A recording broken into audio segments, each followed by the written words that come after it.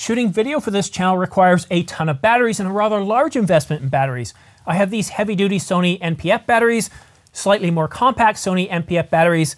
I have a ton of these Canon LP E6NH batteries, a bunch of AA's, AAA's, and the list goes on.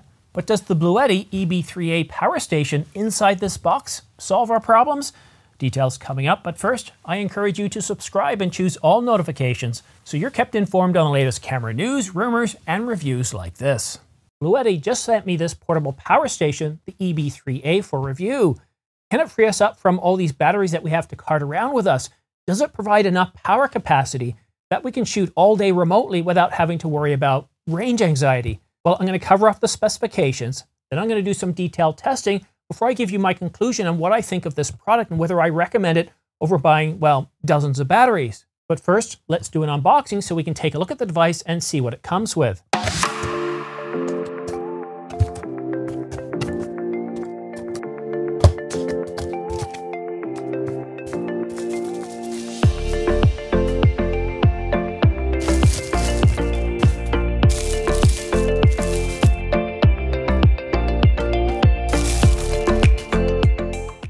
Bluetti EB3A weighs about 10, 10.1 pounds, and you can feel that weight. It's a rather compact unit, feels very solid, but thankfully, once it's in use, it's going to be on the ground somewhere, so you're not going to have to be carrying it around a whole lot. All the functions, all the capabilities of this device are located on the front here. There's nothing on the side or the back, and on the top, you have a handle but what's really, really cool about this device is you can charge your phone without having to plug it in. It has a wireless charging output right on the top right here. So you place your phone down, if it supports wireless charging, you can charge your phone while you're in the field too, so you're not worried about missing any calls.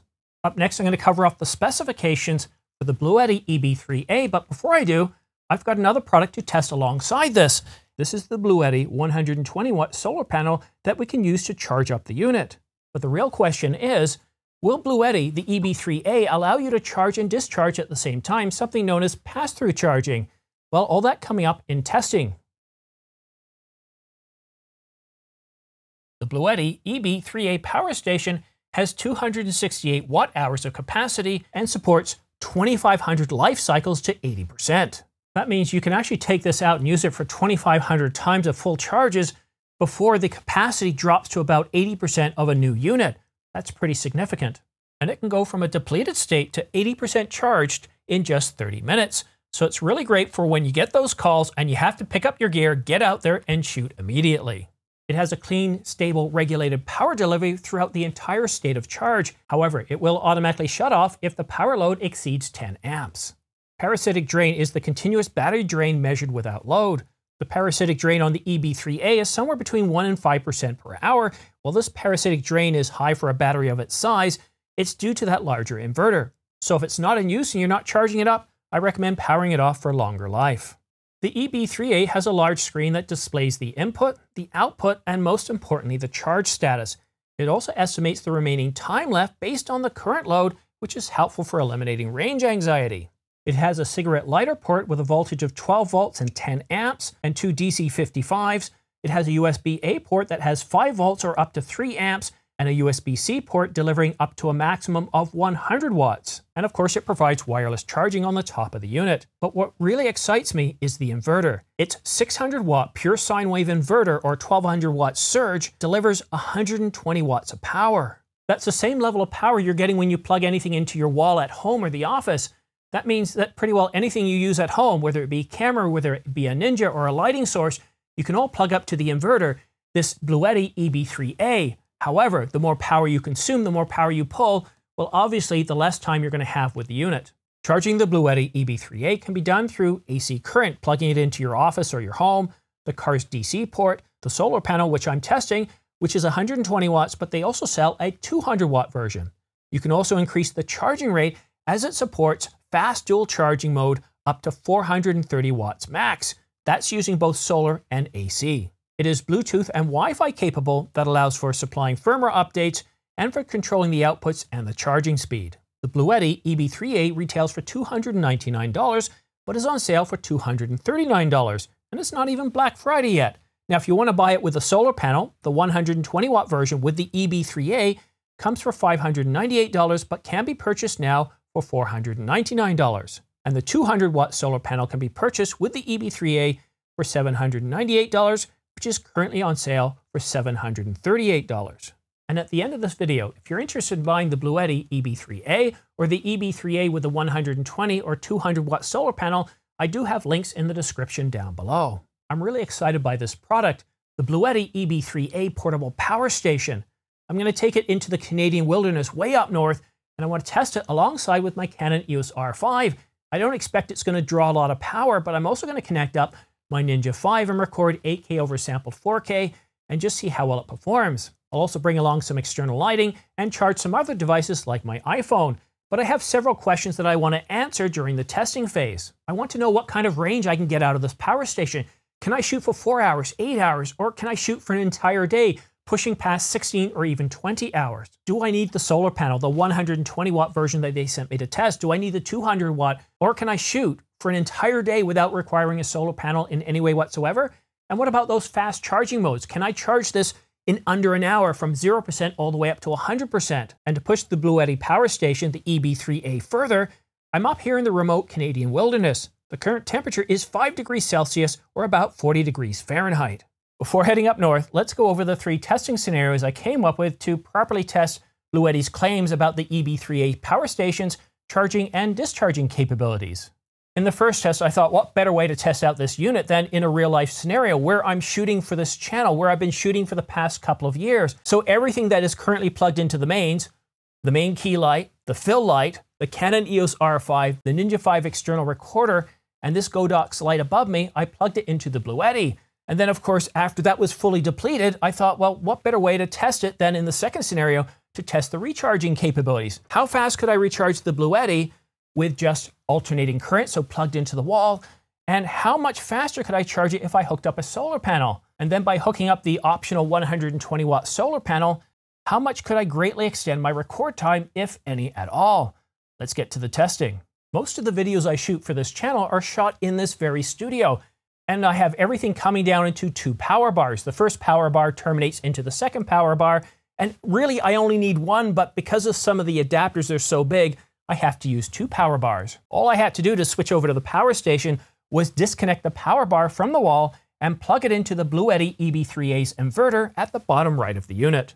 So all the devices in the studio that are currently drawing power include the Canon EOS R5, outputting 8K over sample 4K over HDMI to the Ninja 5 external recorder in Apple ProRes. I'm using an 85 watt key light running at 60%, and the fill light is running at, at about a third of that power level. And then of course I have a Godox ceiling mounted light that's running at 25%. As I power everything up, you can see that the load increases and the shooting time decreases.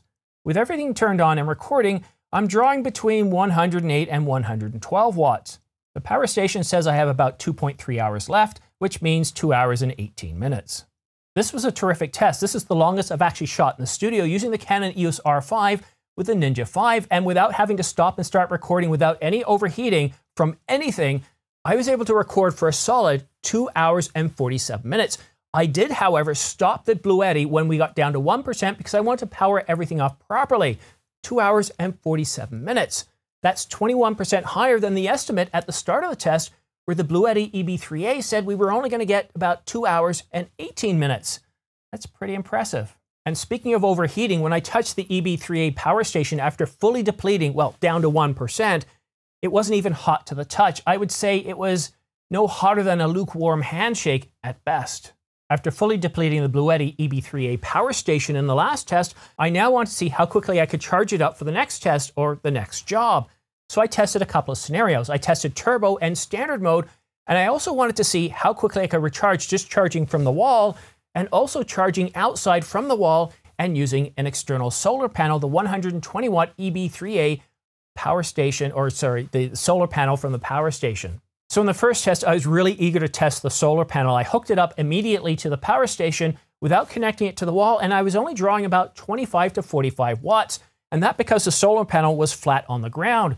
To get the maximum output from the solar panel, you really want to have it angled towards the sun, and you don't want any tree branches in the way. When I walked in front of it, walked in front of the solar panel, the amount of output that I got actually cut in half. So make sure you've got the solar panel in a way where people aren't going to be walking in front of it, where you're not going to have tree branches or any wild grizzly bears. With the solar panel outputting at a sustained 90 to 92 watts, the EB3A power station said that it was going to take about 3.1 hours to fully charge the unit up. After depleting the unit once again, I hooked it up to the wall, and this time it showed that it was getting 260 to 270 watts, although at once it did peak at around 290, and the unit said it was going to charge in 54 minutes, which it did. It was right around 50 to 54 minutes, and that's pretty good for considering that I got three hours out of it the last time, but it took just under an hour to fully charge up.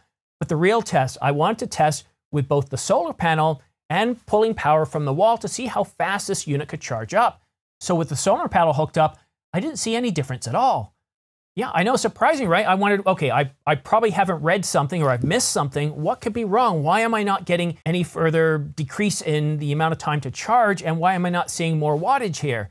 The simple reason was is that I was in standard mode and using the smartphone app, and this is really critical. I highly recommend downloading the smartphone app to have full control over the unit because these options aren't available on the front of the unit. So I had to switch to turbo mode. So when you've got the solar panel and you're pulling power from the wall, you're charging the unit, you need to have it in turbo mode. And doing this, you are presented with a warning saying, hey, you're going to reduce the lifespan of this unit if you do this. But for those times where you need to charge it up really quickly, I was able to get it to charge in well under an hour, and that was producing 430 watts. So with the solar panel hooked up and pulling power from the wall, it was able to charge with 430 watts and that was pretty impressive. I was really impressed to see what this device was able to do. Um, to be able to charge up that quickly and to be able to provide that much power um, is pretty significant. However, there is one caution that I need to mention here. My testing results might differ greatly from yours, especially if you live near the tropics. I live north of 44 degrees, and what that means is even though this was a 120 watt device, I was only getting about 90, 92, and at once I saw 93 watts.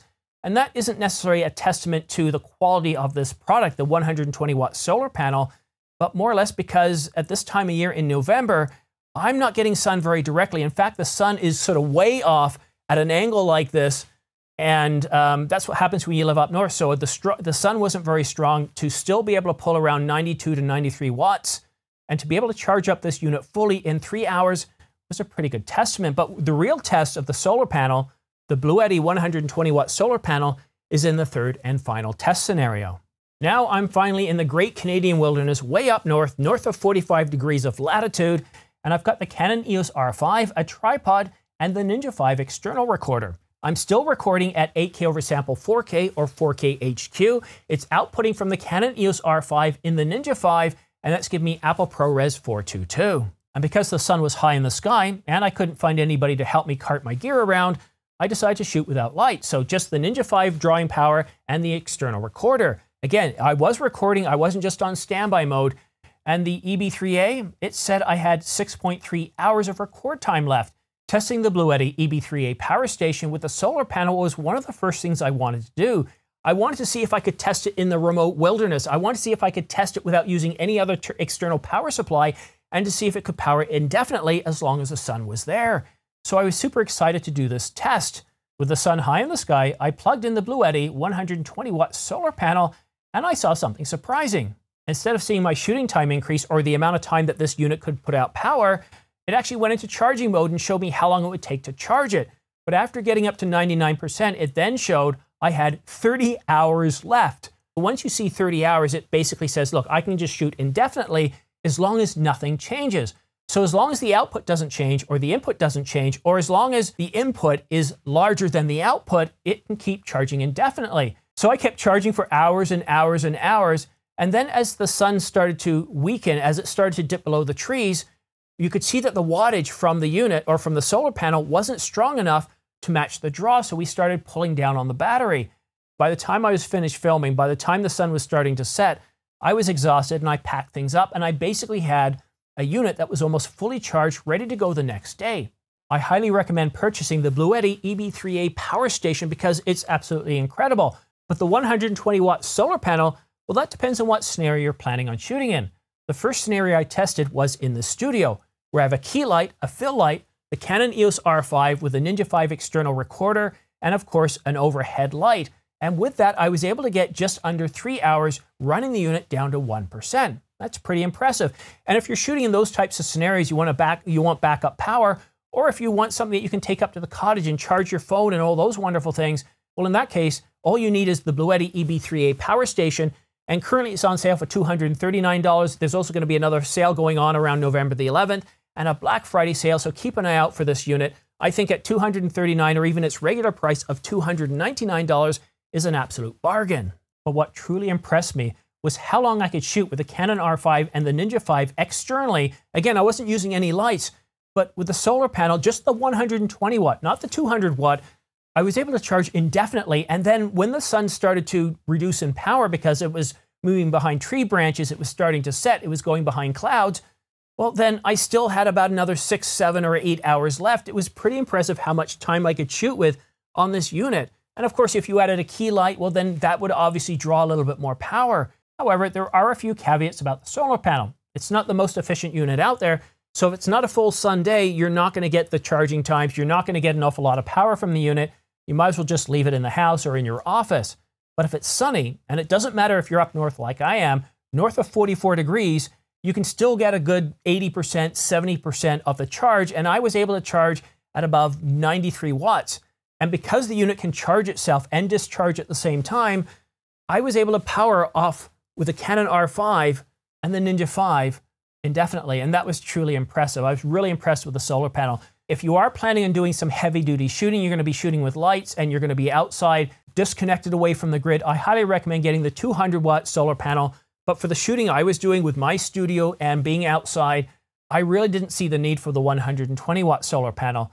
Uh, but really an incredible unit. Uh, one of the most exciting products I review, I've reviewed in a long time so if you're really interested in this, I highly recommend purchasing it. Use my links down below. Like I said, there's a bunch of sales on right now, so you can get it really cheap. Uh, the last sale that I saw was $239 just before I published this. They told me that another sale is going on November the 11th and a Black Friday sale. I'm sorry, I almost forgot.